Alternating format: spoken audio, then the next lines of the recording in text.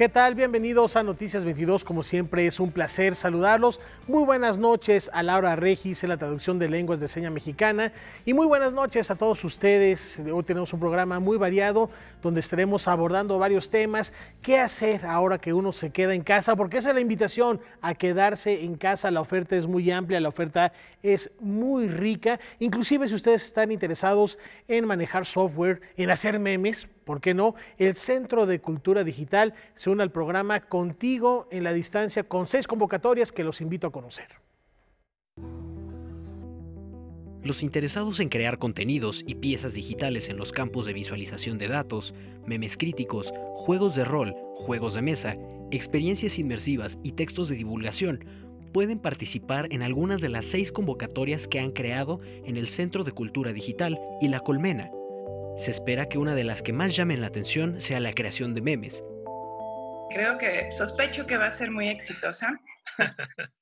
Eh, y que está muy interesante, es un planteamiento que hicieron Dorín Ríos y Canex Zapata, que llevan el espacio hipermedial y curaduría, y que justamente da el chance a participar a las personas pero que también es, es por naturaleza pues una herramienta, es, una manifestación crítica, ¿no? Siempre está poniendo el punto sobre algo. Entonces buscamos memes críticos que se refieran a pues a las corrientes, a los modos de pensar más importantes en este momento.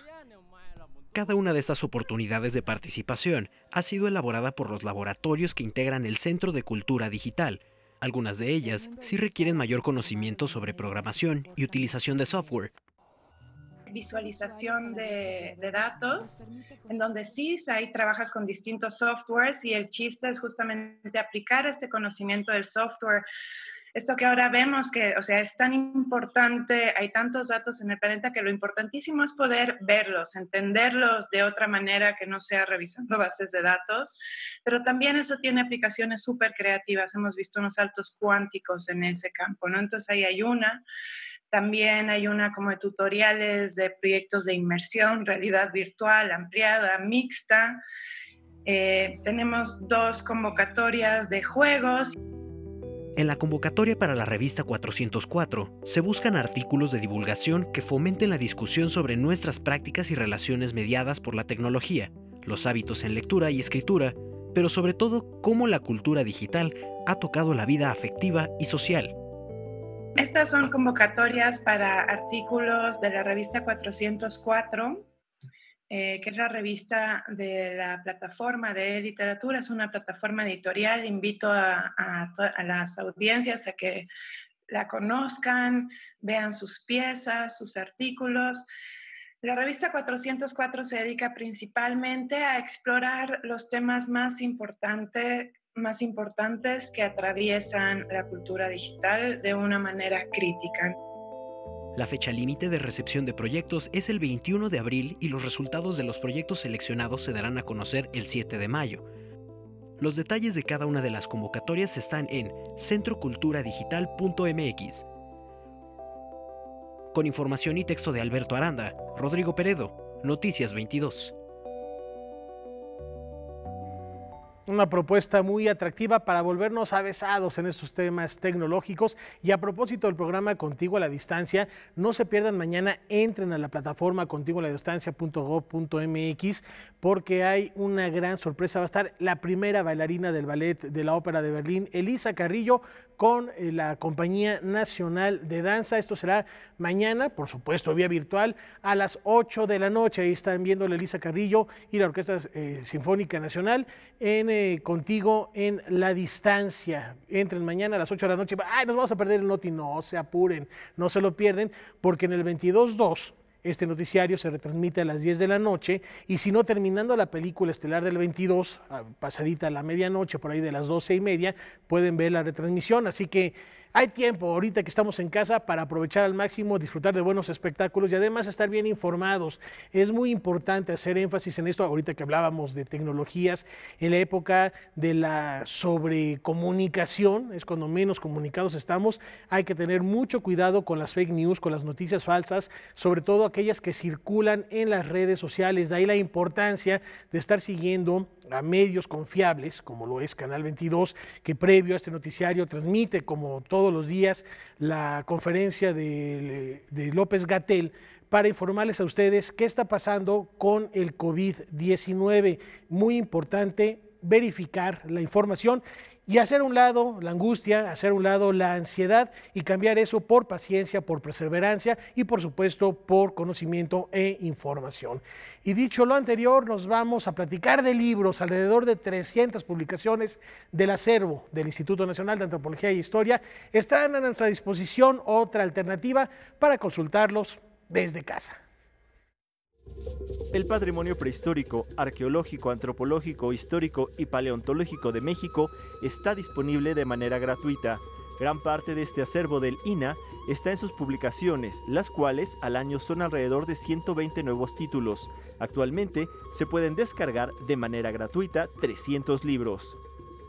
Ahorita tenemos uno que está siendo muy exitoso, que se titula Comida, Cultura y Modernidad en México. Lleva alrededor de 2.000 descargas eh, lo cual es bastante bueno, ¿no? Es un estudio que tiene alrededor de 18 capítulos, pero nos van contando precisamente de una, desde una perspectiva antropológica e histórica este tema de las culturas alimentarias, ¿no? Entonces tenemos por ahí eh, que nos cuentan sobre la comida ritual de Día de Muertos en Culhuacán e Iztapalapa, también tenemos las prácticas funerarias de Mixquic, ¿no? Las ofrendas eh, para las ánimas en un pueblo purépecha, eh, también la comida, el chocolate y otros brebajes de los africanos y los afrodescendientes en el México virreinal, ¿no? es decir, son cosas muy, muy atractivas y también cierra este libro con las cocinas económicas en la Ciudad de México y eh, las tortas contra las hamburguesas, es decir, ¿qué está pasando con esta cultura del fast food? También hay otro de los libros que ha sido muy descargado, que es este precisamente, eh, que se titula Fotografiar la Revolución Mexicana, donde John Mraz, que es especialista precisamente en la imagen, nos va haciendo un recuento de cómo fue dándose esto de la fotografía en la Revolución Mexicana. Normalmente ubicamos a la agencia Casasola, pero no nada más ellos, ¿no? Contaron la Revolución Mexicana. Entonces, John nos ofrece una, una perspectiva fresca, muy diferente, y este libro también está de, de, de manera gratuita a través de Mediateca de Lina, ¿no? Además, la Coordinación Nacional de Difusión produce alrededor de 18 revistas de corte académico y divulgación. Los temas que abarcan van desde la conservación, historia, arqueología, antropología y fotografía son 22 revistas, te decía 18 son las que, las que produce propiamente o coproduce eh, la Coordinación Nacional de Difusión, más aparte hay algunas otras que eh, se editan en los estados de la República, pero también están disponibles, ¿no? Son más de 1.200 ejemplares de revistas disponibles para el público y para descarga. Otra posibilidad que ofrece el INA es visitar su canal de YouTube o bien realizar recorridos virtuales por sus recintos y exposiciones tenemos recorridos virtuales, ¿no? De exposiciones temporales, ¿no? Exposiciones que han sido muy exitosas, por ejemplo, los hilos de la historia, que tiene que ver con esta majestuosidad de, las, eh, de los trajes, ¿no? Que tienen en el Museo Nacional de Historia, ¿no? En, en, estas colecciones. También el último eh, viaje de la fragata Mercedes sobre este esta, fragata que, pues bueno, fue hundida por ahí de 1804 con toda su tripulación y además de 600 monedas y algunos otros objetos que han sido recuperados. Y tú puedes tener, eh, pues bueno, un recorrido virtual por esta exposición. Actualmente el canal de Lina en, YouTube, que es INA TV, ¿no? Es donde se están dando a conocer diversos, eh, diversas series, por ejemplo, Piedras que Hablan, Orígenes y demás. A las 5 de la tarde, el INA está lanzando eh, pues diariamente, ¿no? No ni siquiera para el sábado y domingo, documentales y series para que el público eh, entendamos un poco más sobre este pasado, ¿no? A veces eh, tiene que ver con una perspectiva antropológica, otras veces etnográfica, ¿no? Diferentes eh, puntos de vista, pero están dirigidos pues a la comunidad en general.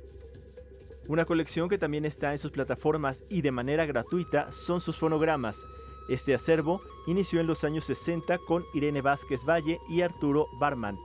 Ahí podemos encontrar música tradicional y popular de México, interpretada en muchas ocasiones por grupos de las comunidades. Por último, destaca el recorrido por Teotihuacán y el túnel que se descubrió en una de las pirámides. Este es el túnel bajo el templo de la serpiente emplumada y eh, esta fue una producción que fue lanzada para el público en general en julio del 2018. Esta es una, iniciativa de la Secretaría de Cultura, el Instituto Nacional de Antropología e Historia y Samsung, que es un recorrido 360 grados, eh, como tú lo pudiste apreciar, sin duda te va llevando literalmente de la mano en 10 minutos tan solo por los 100 metros en los cuales puedes recorrer a través de tu mouse todo el espacio, es decir, puedes eh, ver ¿no? los distintos colores de la Tierra y por ahí nos va narrando el arqueólogo Sergio, el encargado de este proyecto, y entonces tenemos este recorrido, 10 minutos, y entonces nos da toda una idea de los objetos que fueron encontrando, porque también, pues bueno, hay cestería, hay piedras preciosas como jade, como cristal de roca, eh, también maderas y demás. Entonces nos van dando esta perspectiva de cómo fue el hallazgo paso a paso que hizo Sergio y su equipo de trabajo en la zona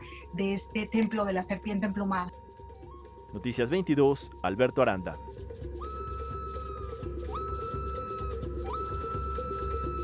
¿Y qué les parece si seguimos platicando de actividades académicas este mismo mes, abril? Podremos disfrutar de la fiesta del libro y la rosa 2020 de manera virtual, una fiesta que se espera año con año para celebrar el natalicio de grandes, grandes exponentes de la literatura universal.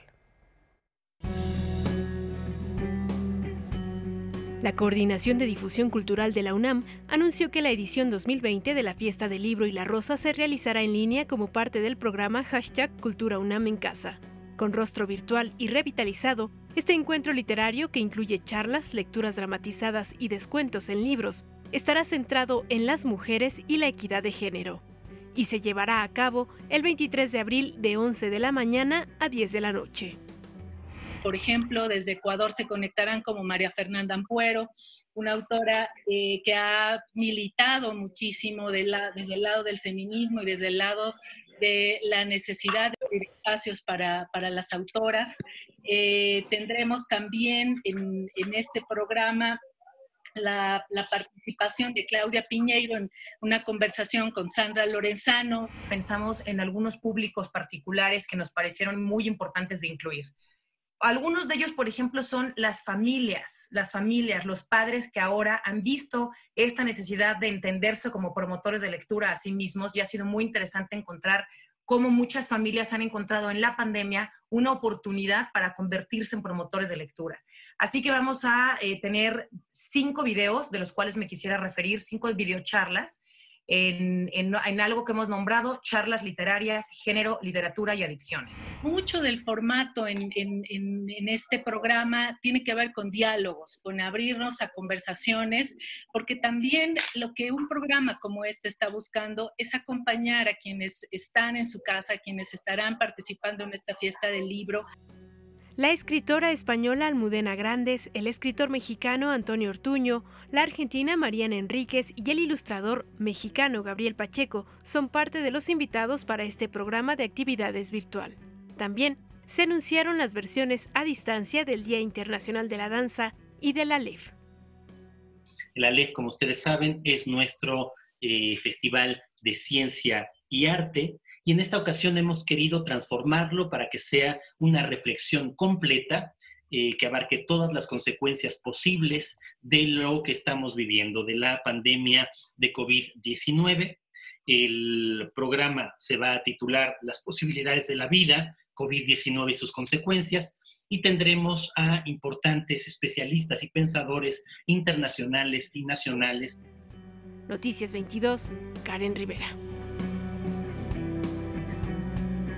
A celebrar el Día de San Jordi de manera virtual con esta feria del libro y la rosa. Y antes de la pausa les comento que el grupo de mujeres organizadas de la Facultad de Filosofía y Letras entregó esta tarde las instalaciones a la Universidad Nacional Autónoma de México. Recordemos, haciendo un poco de historia, estaban tomadas desde el pasado 4 de noviembre. Ellas enviaron una carta digital a la Rectoría diciendo que lo hacían no necesariamente porque se hayan cumplido todas sus eh, condiciones, sino por una cuestión de congruencia a propósito de la pandemia que se vive en México. Hoy ya las instalaciones están de nueva cuenta en manos de las autoridades universitarias. Con esta información nos vamos a una pausa y más aquí en Noticias 22.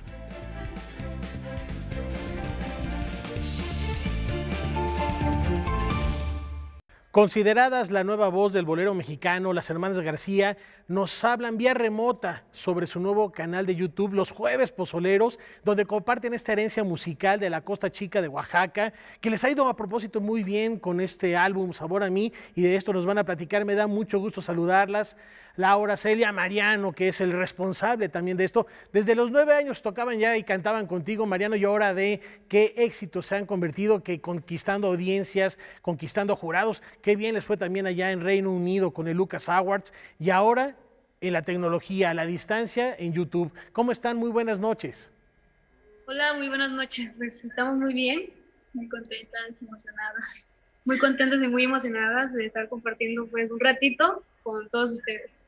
Es muy emocionante porque las hemos visto. Estamos hablando de una historia que, si decimos hace 10 años, han estado aquí en el estudio, han cantado, han interpretado en vivo y es impresionante ver su juventud y, reconocer el trabajo, lo que han hecho a lo largo de este, de este tiempo y cómo han cautivado al auditorio. Y ahora con una propuesta muy atractiva, buscando abrazar también a las nuevas generaciones con estos jueves pozoleros. ¿Por qué jueves pozoleros? A ver, platíquenme, es una tradición allá en Oaxaca, en la Costa Chica. ¿De qué se trata? Sí, acá en Guerrero, no sé si en Oaxaca también, eh, se hace, ajá, en la costa hay una tradición de que los jueves se come pozole. Y pues, ambiente familiar, todo, eh, con amigos, bueno, de todo. Y pues se disfruta así un buen pozole los jueves, por eso jueves pozolero. Y ahora nosotras lo que hacemos es que con esto de COVID-19, que es lamentable, eh, tratamos de llevar la costa chica hasta la, hasta la casa de la gente, que pues está encerrada, pero obviamente tomando las medidas, espero, y les llevamos para que estén comiendo pozole o lo que sea, pero que se les estén pasando para que piensen que no nos abandonan. Eso es lo importante, estar eh, conviviendo en familia y estar conviviendo y disfrutando además de sus interpretaciones. Platíquenos más o menos cómo surge la idea de este canal y qué podemos ver en él. ¿Es meramente musical o también eh, eh, platican, reflexionan, hablan de la Costa Chica, hablan de los compositores como Álvaro Carrillo? Este, teníamos, bueno, Discos Corazón tiene un canal de YouTube y ahí era por donde se subían los videos de nosotras, todo lo referente a nosotros se subía por medio del canal de Discos Corazón. Y ahora eh, hicimos un canal nosotras para poder compartir nuestra música, nuestros videos eh, por medio de ese canal. Y tuvimos la idea de hacer este, esta nueva sección que es Jueves Pozolero, en donde eh, compartimos en vivo un ratito con, con la gente en transmisiones por YouTube y, también por ¿Y, tienen invitados cada semana? ¿Cómo va funcionando esta cuestión? ¿Quién elige el repertorio? ¿Cómo se organizan para lo mismo? Pues la gente elige el repertorio. Nosotros hacemos videos y pedimos ya no cuál quieren y ya no nos mandan. sí. sí, este, eh, cantamos las canciones que son más pedidas por nuestra página de Facebook, ponemos eh, qué canciones quieren y ellos escogen sus favoritas y las tres que más digan son las que vamos a interpretar. digamos que es un espacio de complacencias muy novedoso, muy tecnológico. Y te pregunto, Mariano, ¿tú cómo te sientes? Además de orgulloso seguramente por esta historia, por esta travesía de las hermanas García. Claro que sí, pues este, eh, creo que doblemente porque primero como, como, este, como padre, ¿no? Ajá. Ver, crecer y sobre todo este, hacer lo que a mí me gusta hacer, ¿no? Sobre todo. Eh, porque a veces me preguntan si le he obligado y no es cierto. lo hace natural, lo hace porque quieren hacerlo porque les gusta. Y eso me trae una satisfacción porque es lo que siempre he querido, ¿no? Siempre desde, muy joven empecé a, este, escuchar los boleros. Eh, estoy aquí en la costa, eh, las chilenas, que son un punto primordial aquí, ¿no? En, en esos jueves pozoleros, y la gente baila, disfruta de un buen pozole, de un buen este, mezcal. Y además de este eh, canal, en el cual presentamos el jueves pozolero, nos gusta más porque, aparte que le llevamos a la gente la costa chica hasta sus casas, hasta su mesa, este, tenemos invitados, ¿sí? Y este, este, este jueves, este, este, creo que sí, ¿no? Este jueves tenemos una, una invitada que, este, eh, que es de Chile. Ok. Entonces, y me parece muy interesante porque la, las, el género chilena viene de Chile. Bueno, bueno, pero eso lo vamos, eso es una sorpresa, es, ah, como, un evento educativo este jueves, así que no se lo pierdan, ya que no diga más. sin, spoilers, sin spoilers, me parece extraordinario, pero ¿a, qué hora nos conectamos? Porque está la transmisión en vivo y me imagino que después el canal deja el video ya uh, on demand, bajo demanda del auditorio. Sí, es todos los jueves a las 6 de la tarde. Jueves a las 6 de la tarde una invitada sorpresa, no vamos a decir más, sabemos que es chilena, estamos intrigados. Sí, como la chinganura, chinganera, algo así, conocida más o menos, que más o menos sepa, más o menos sepa. No, la ya.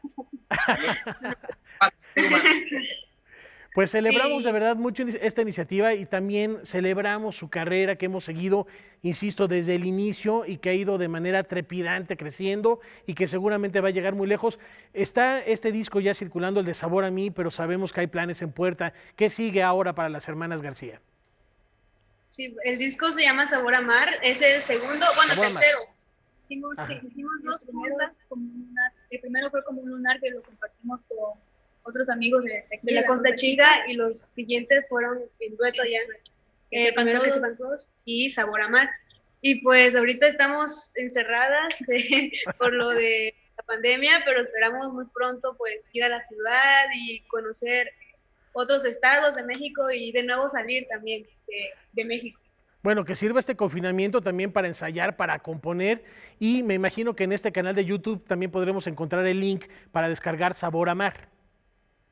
Sí, eh, está en todas las plataformas digitales, ya estamos subiendo temas, eh, pues, creo que cada seis meses los temas del disco se están subiendo a Spotify y pues en todas las plataformas digitales. Y pues también un video de Lágrimas Negras que esperamos también que vean muy pronto. Y pues que nos sigan viendo, nos sigan escuchando, que nos vean todos los jueves en YouTube, en Facebook, en Instagram también. Y sí, eh, vamos a seguir ensayando, aprendiendo también y a ver si componemos algo. Pues ahí estaremos muy al pendiente de lo que venga más adelante. Por lo pronto, el jueves a las 6 de la tarde, no se pierdan jueves pozolero con las hermanas García y esperemos que pasada esta pandemia, pues nos reunamos a tomar un pozole allá en la Costa Chica y por qué no disfrutar de muy buena música.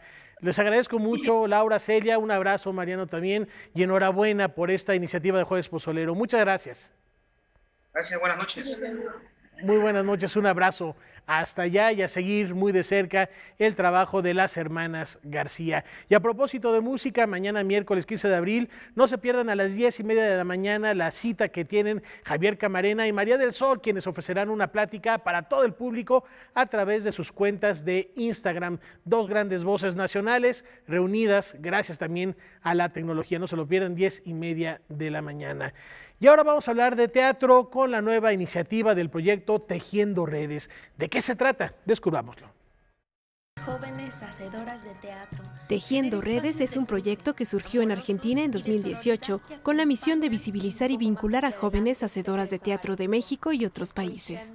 Su objetivo es ser un espacio seguro de creación escénica conformado por cuatro ejes. El ciclo de lecturas dramatizadas, la red de protección, la red creativa y la red activa.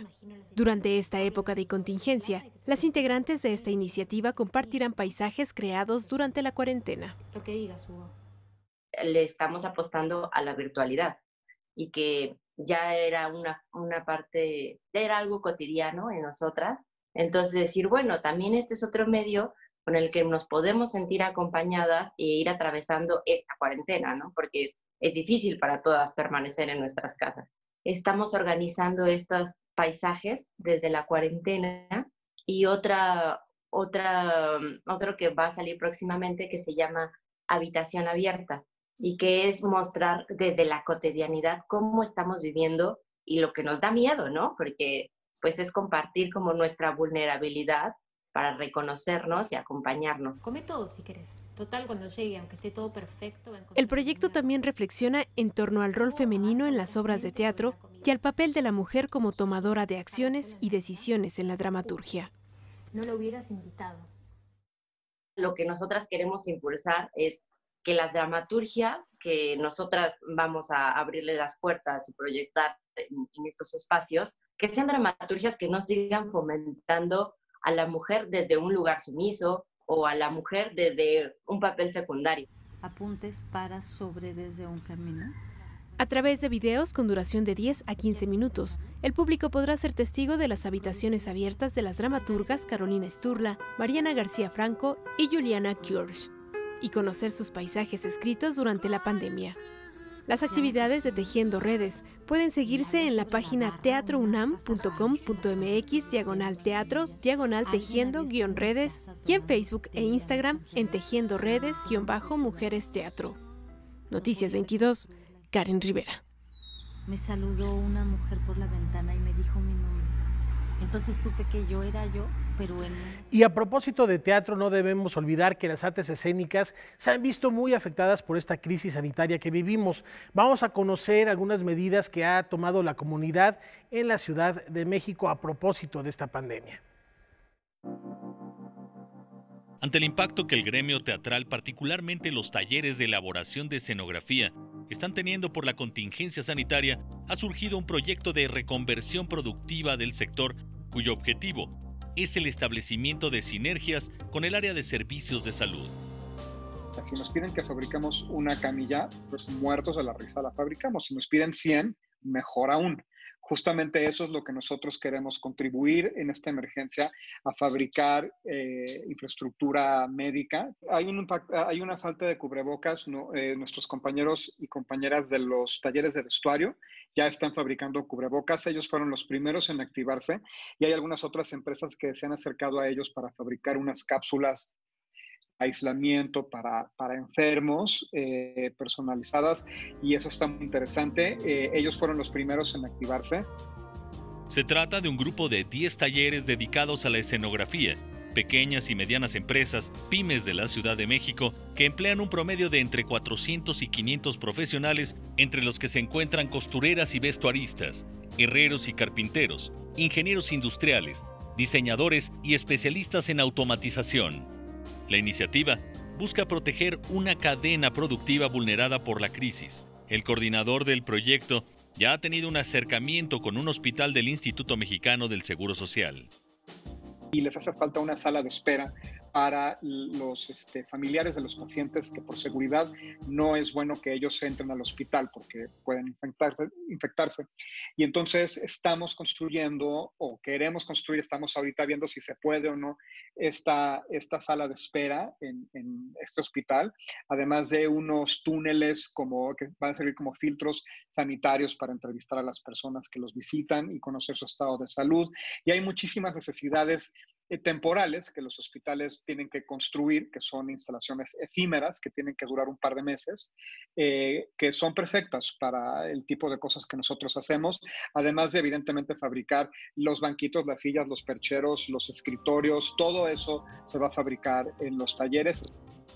No obstante, el proyecto enfrenta hoy el problema de la liquidez financiera en los sectores público y privado. Ahorita estamos este, desenmarañando el problema de los anticipos. Estas, estas pequeñas empresas no tienen los fondos para poder solventar económicamente grandes pedidos, ¿no? Entonces necesitan un anticipo, pero el IMSS no da anticipos. Entonces estamos viendo de dónde fregados sacamos un anticipo, porque el IMSS en efecto quiere, quiere hacernos un pedido, pero no, no, no tenemos esa liquidez y estamos resolviendo el problema. Algunos hospitales privados que están ahorita eh, expandiendo sus capacidades necesitan algunos muebles, algunas este, eh, para las enfermeras, algunos escritorios. Eh, y estamos presupuestando esos, esos trabajos, pero hay muchas veces que estos son empresarios que nos arengan a que las fabriquemos y luego las vendamos, pero el problema es que si no tenemos un pedido de alguien que de verdad nos pida 10, nos pida 100, es muy difícil aventarnos ahorita a fabricar. Por lo anterior, el gremio lanza un llamado. lanzo un llamado a los empresarios de la iniciativa privada que puedan eh, levantar pedidos y que puedan dar anticipos, como en cualquier lado, pero es que el gobierno no da anticipos por una, no sé, razón y este, para que estos talleres puedan tener liquidez o encontrar los mecanismos dentro del gobierno para que entonces las empresas que ya tienen contratos con el IMSS, que ya tienen contratos con las instituciones que están interesadas, bueno, que esas empresas sean las que den el anticipo y luego nos hacemos bolas, ¿no? Y luego este, nosotros les pagamos, ellos les pagan, etcétera, para poder eh, iniciar a rodar este balón. Es urgentísimo echar a rodar el balón para que la gente pueda tener ya este, un trabajo. Para contactar con los coordinadores del proyecto, usted puede escribir al correo electrónico realizadores@premiosmetropolitanos.com. Con información y texto de Víctor Gaspar, Óscar Elguera, Noticias 22. Una propuesta muy atractiva de ayuda en dos vías. Ahora que están los escenógrafos desocupados, ¿por qué no sumar esfuerzos y así apoyar a la sociedad en general? Y qué difícil en estas épocas de confinamiento, ya veremos por ahí de diciembre los hijos de la cuarentena, pero también se habla mucho de esta situación de convivir y estar encerrados. Lo más difícil de convivir es convivir con uno mismo, encontrarse con uno y tratar de sobrellevar esta pandemia. Hoy, al término de Noticias 22, Yuli García reflexiona sobre el individualismo humano. Esto será en compañía de Saúl González. No se lo pierdan, debate 22 en punto de las 9 de la noche. ¿Qué tal se le están pasando con ustedes mismos. Ya volvemos.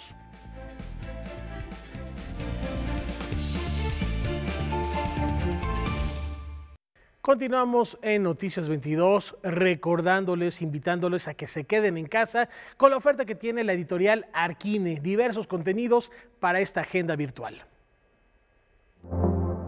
Para el mes de abril, la editorial Arquine ofrece tres novedades. La primera se llama Tlatelolco, un concepto de ciudad en el que se recopilan textos y fotografías sobre la historia de este conjunto habitacional que fue trazado por Mario Pani y que ha sido testigo de transformaciones sociales de la ciudad.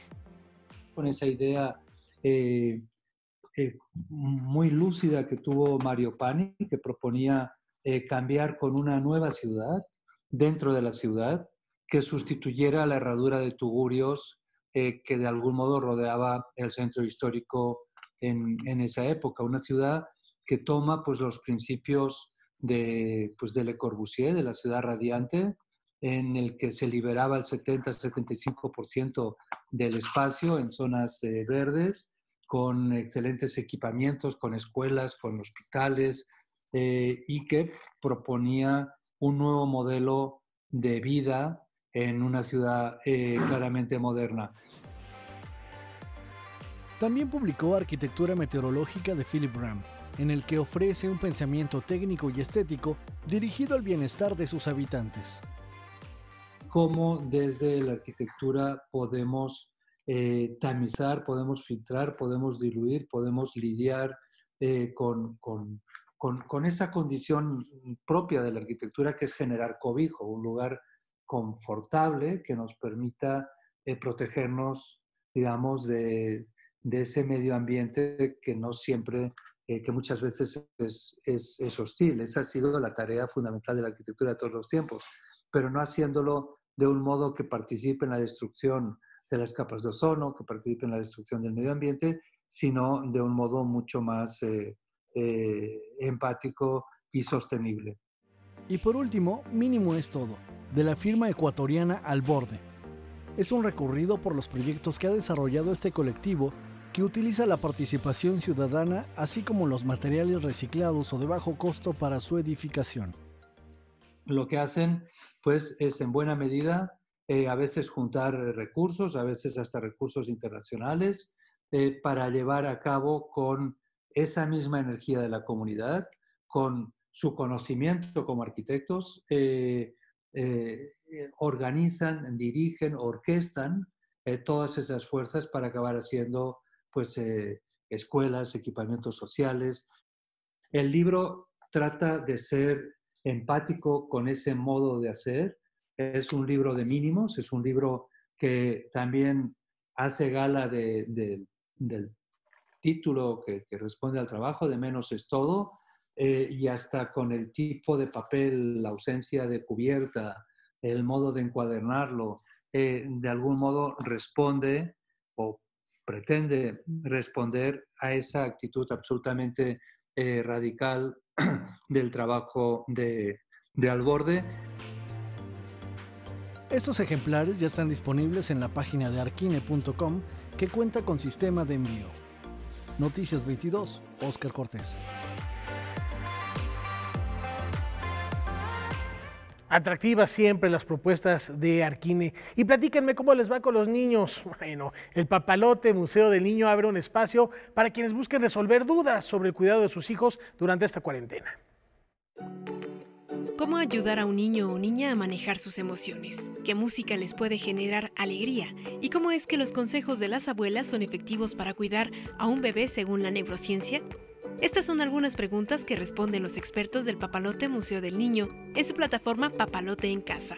Como respuesta a la emergencia sanitaria y con el objetivo de mantener la esencia del juego y el aprendizaje, el recinto creó este portal dedicado a niños y adultos van a encontrar artículos, van a encontrar eh, eh, contenido específicamente para los papás sobre cómo desarrollar habilidades eh, en los más pequeños, también cómo manejar emociones en estos momentos difíciles y también cómo pueden encontrar tips para poder tener una mejor rutina durante esta, esta época de contingencia, cómo pueden encontrar el espacio para que los niños no dejen de jugar y no dejen de aprender. Actividades como hacer burbujas en el hogar, construir un huerto, realizar mariposas de origami o trufas de chocolate y galleta son parte de las propuestas que los usuarios podrán ver en infografías, descargables y videos que el museo publica en este portal. Además, todos los jueves a las 6 de la tarde en la página de Facebook del recinto hay una sesión de cuentacuentos.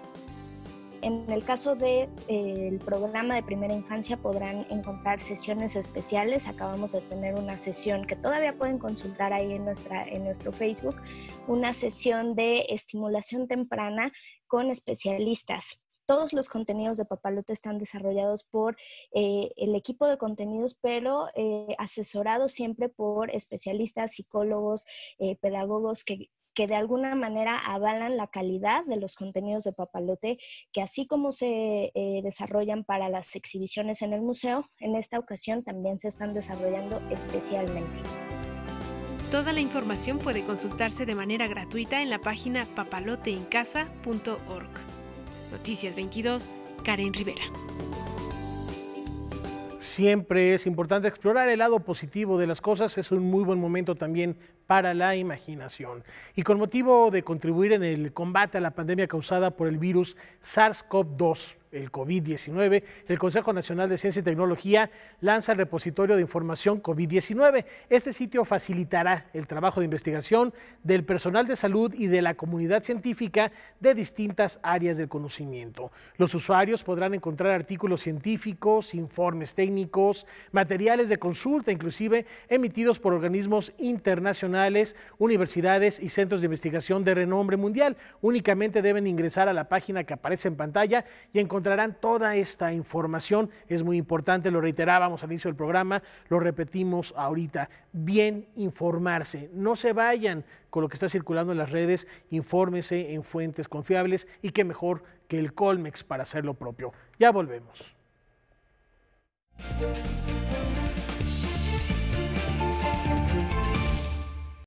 Rapidísimo, una fe de ratas, dicen que es de sabios rectificar y equivocarse es de burros, pero ni modo, ya me equivoqué. No es el Colmex, es el CONACID el que tiene este repositorio para la investigación y está a disposición de absolutamente todos. Y ahora vamos a hablar de un tema que desgraciadamente flota en el aire, la muerte maestra en psicología y doctora en ciencias en el campo de la bioética por la UNAM, profesora e investigadora del Departamento de Psiquiatría y Salud Mental de la Facultad de Medicina, también de la máxima casa de estudios, es nivel 2 del Sistema Nacional de Investigadores, integrante del Colegio de Bioética, conserje de la Asociación por el Derecho a Morir con Dignidad y vicepresidenta de la World Federation of Right to Die Societies, también profesora y tutora de los programas de maestría y doctorado en la Facultad de Medicina, de Filosofía y Letras y de Psicología de la UNAM. Sus líneas de investigación, la muerte en la práctica médica, dilemas éticos de las decisiones sobre el final de la vida y hoy es un placer recibir aquí en el estudio de manera remota a la doctora Asunción Álvarez. Asunción, muchas gracias por estar con nosotros. Y antes que nada, la pregunta obligada después de leer este impresionante resumen de tu carrera, ¿por qué la mente humana? ¿Por qué algo tan complejo? Eh, bueno, muchas gracias por la invitación. La pregunta es, ¿por qué? ¿Cuál es la pregunta?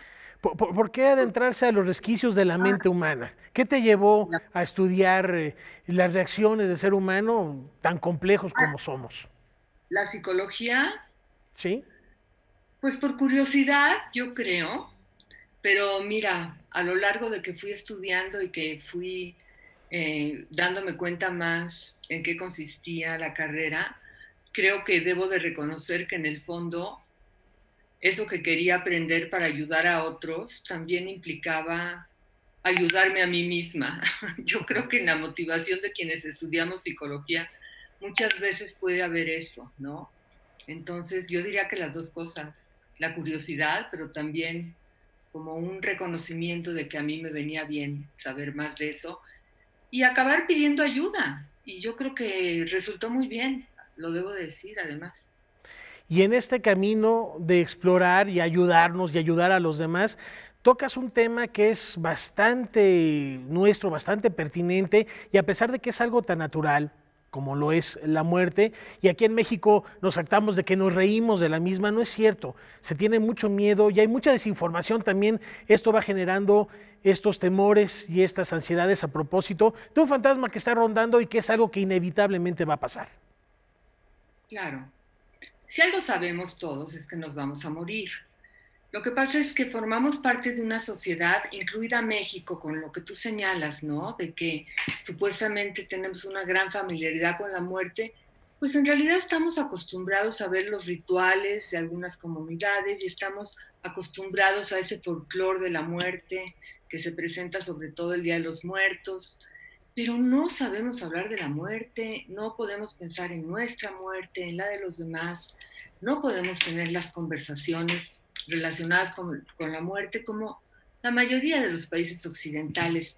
De manera que, como sabemos que nos vamos a morir y todo el tiempo tratamos de hacer eso a un lado, pues es un tema que nunca podemos resolver, ¿no? Si pudiéramos dedicarle tiempo, conversarlo, hablarlo de vez en cuando, no es que nos guste, pero no tendríamos tanto miedo. Pero como lo único que hacemos es negarlo, evitarlo, evadirlo, reprimirlo, pues el miedo siempre está ahí. Y cualquier cosa que lo toque, que lo saque, pues lo que nos devuelve es, ese, ese miedo que tenemos latente. Y la situación actual precisamente es lo que está haciendo. Nos está recordando nuestra fragilidad, nuestra vulnerabilidad, la de personas muy queridas que queremos, ¿no? Es, nos podemos morir siempre, en cualquier momento, pero esta situación nos está recordando que nos podemos morir, que podemos ser de los que nos infectemos y de los que se complique la enfermedad. Y entonces sí, está sucediendo algo que toca algo a lo que tenemos un miedo latente todo el tiempo, pero del que no nos ocupamos. Por eso no tenemos respuestas, no sabemos qué hacer y nos angustia. Cuando yo creo que lo que estás haciendo, hablar de esto, es, es justo lo que puede ir ayudando a decir, a ver, pero ¿a qué le tengo miedo? Y de eso que puedo hacer, cómo me puedo preparar y qué es a lo, que, lo peor que me puede pasar. Y, y entonces vamos teniendo algunas respuestas y vamos viendo que sí hay cosas que podemos hacer. Podríamos asegurar entonces que todos nuestros temores van de la mano de Tánatos hacia esta incertidumbre y más en un momento, como bien refieres, tan convulso como lo vemos ahora. ¿Qué es lo que debemos saber? Ya lo decíamos al principio, que es algo natural, hay que estar conscientes. Tarde o temprano va a llegar pero a estas personas, a los que están viviendo ahorita estas situaciones, vemos imágenes lamentables alrededor del mundo donde no se puede llorar a los deudos, que esa es otra cuestión. A, los, a los, ves bien, los deudos no pueden llorar a sus difuntos. Y eso es un tema también que tiene que ver con la cultura, que tiene que ver con la sociedad, cómo nos hemos eh, desarrollado, más allá del miedo o no que se le pueda tener a la muerte. No, no cabe duda que esta situación ha, ha hecho que situaciones de por sí duras y a las que no estamos preparados sean mucho más duras, ¿no? Porque, mira, a lo mejor no estamos muy acostumbrados a hacer ese proceso de duelo y de hablar de lo que nos pasa y de compartirlo, pero por lo menos nos acompañamos, por lo menos nos abrazamos, sabemos que no estamos solos. Y sí es terrible que, sepamos de, de personas que han perdido a sus familiares sin poder tener esas despedidas y ese acompañamiento, ¿no? Entonces, yo creo que esto nos podría, como a nosotros en México, que estamos como un poco más atrasados de lo que está pasando en otros lugares, ver si podemos hacer algo para que, para el caso de aquellos pacientes que no puedan salvarse y que tengan que encontrar la muerte en una situación de estar en una institución, ojalá haya algo que podamos aprovechar de esta tecnología que tiene sus enormes ventajas para que nadie se muera sin una despedida, sin haber escuchado algo de, una persona querida, que, aunque sea eso, hace una diferencia estar completamente solo. Yo creo que en general siempre lo más terrible de, de, que alguien se acerque al final de su vida es que lo viva solo. Y muchas veces eso pasa en situaciones normales por la incapacidad de hablar y asumir lo que está pasando. Pero en esta situación es además esa incapacidad de poder estar físicamente presente. Entonces, claro que todo es mucho más complicado ahora. Sí están pasando cosas que son más dolorosas de lo que normalmente son. Hablabas de las cuestiones sociales, también vamos a entrar aquí al eh, campo de la ética porque digo, además es un tema que tú has abordado en varias ocasiones. Por un lado, antes de que se suscitara toda esta pandemia, está la reflexión, la discusión en torno a la eutanasia, a la muerte asistida, al bien morir, y esa es la importancia de hablar las cosas, decir las cosas por su nombre, son cosas que van a suceder inevitablemente. Hoy, en contraste, porque no es la misma situación una eutanasia, una muerte asistida, un suicidio asistido, asistido, que esta pandemia que se está llevando a muchas personas que no estaban en condiciones necesariamente de partir y se adelantan. Claro, claro. Sí, la, eutanasia, el suicidio asistido, tiene que ver con una reflexión que, es más propia de esta época, en donde si uno puede asumir que se va a morir, ¿no? A veces uno lo puede pensar cuando ni siquiera sabe de que se va a morir, pero también lo pueden pensar, pensar personas que ya se están acercando y nos damos cuenta que llega un momento que la medicina tiene límites, que nuestras elecciones no son entre quiero vivir más o no quiero vivir más, porque a veces eso no es posible, pero que siempre tenemos esa posibilidad de elegir, bueno, pero ¿cómo no querría morir? ¿Cómo no querría que sea el final de, de mi vida? ¿Cómo querría despedirme? Y ahí es donde entra la eutanasia y el suicidio asistido. Yo creo que es algo que tiene que ver con asumir que nos vamos a morir, a morir, y decir, bueno, pero yo quiero poder tener la posibilidad de elegir, si es que mi muerte se presenta en términos en donde yo quiero que se adelante, ¿no? Es, a lo mejor la gente puede tener un final de vida en donde no hay mayor sufrimiento y muere hasta que llegue el momento, pero hay gente que no, hay gente que vive el final de, con tal sufrimiento que dice, no, yo ya que no puedo elegir más cosas, por lo menos quiero elegir ya no vivir así y morir bien. Claro, ahorita no es lo que está pasando. No. Ahorita lo que está pasando es que la gente, pues tenemos planes de seguir viviendo y nos damos cuenta que hay una amenaza y hay algunas personas que se infectan y algunas personas eh, que tienen la enfermedad con muchas complicaciones en donde realmente su vida está en riesgo. Y hay personas que han estado muriendo por, por esa enfermedad, ¿no? Entonces es, es otra situación. Bueno, por aquí la sí, sí, adelante. De todas formas, si algo podemos aprender ahora es que podemos llegar a ser una de esas personas, como siempre nos puede pasar, y en donde a lo mejor lo único que nos va a tocar elegir es de qué forma no querríamos morir, ¿no? Y a lo mejor si sabemos que podemos estar en una situación en donde el tratamiento realmente no tiene muchas probabilidades de que nos sirva, entonces podemos decir, bueno, pues yo prefiero que no me den ese tratamiento, ¿no? Porque no me gustaría morir como implica morir con ese tratamiento, ya sé que la probabilidad de sobrevivir es muy baja, ¿no? Y algunos podrán decir, y yo prefiero que lo utilice otra persona que tiene muchas más probabilidades de vivir, porque uno de los problemas que estamos enfrentando, que vamos a enfrentar, es que no va a haber tratamientos para todos. Entonces, yo creo que con todo, siempre esta situación nos puede recordar esa fragilidad, esa vulnerabilidad, ese no saber cuándo nos va a tocar enfrentar una situación en donde igual estamos cerca del final de la vida y que lo único que nos queda es poder elegir, bueno, en qué condiciones no nos gustaría encontrarla. Son reflexiones muy importantes y no postergar las cosas y no tener miedo. Hablar las cosas son, es parte de la naturaleza, hablar las cosas y encarar como venga el destino porque no sabemos cuándo está delimitado ese antes y ese después y así aprovechar al máximo mientras estamos aquí, mientras estamos vivos, Asunción. Sí, hablar sirve, la verdad es que decíamos al principio, bueno, todo lo que hay de base es un miedo a la muerte y en una sociedad en donde no se puede hablar, pues cada quien carga con su miedo como bien puede. Si pudiéramos hablar de algo que compartimos tantos, nos daríamos cuenta que no estábamos solos, nos daríamos cuenta como, como el miedo podría eh, localizarse más, compartirse y reducirse. La verdad es cuando tenemos un enorme problema y lo podemos hablar, ya lo vemos diferente. Bueno, pues con esto podría ser igual. Lo malo es que nunca hay lugares para hablar de la muerte porque nadie quiere hablar de la muerte, pero si pudiéramos encontrar eso, si pudiéramos abrir las conversaciones, oye, ¿tú qué querrías en el final de tu vida? ¿Tú qué has pensado? ¿Cómo no querrías? Bueno, pues podríamos ver que tenemos control de algo. De algunas cosas no tenemos control, pero de algo que tiene que ver con nosotros, con lo que consideramos valores, con lo que nos importa, con nuestra dignidad, de eso sí podemos decidir. Entonces, sí, las conversaciones hay que poder tenerlas decidamos y hablemos. Muchísimas gracias, Asunción, por estas reflexiones. Te enviamos un abrazo muy grande, cuídate mucho y esperamos eh, pronto volver a platicar contigo cuando pase todo esto de los otros temas éticos de la muerte. Muchísimas gracias. Muy linda noche.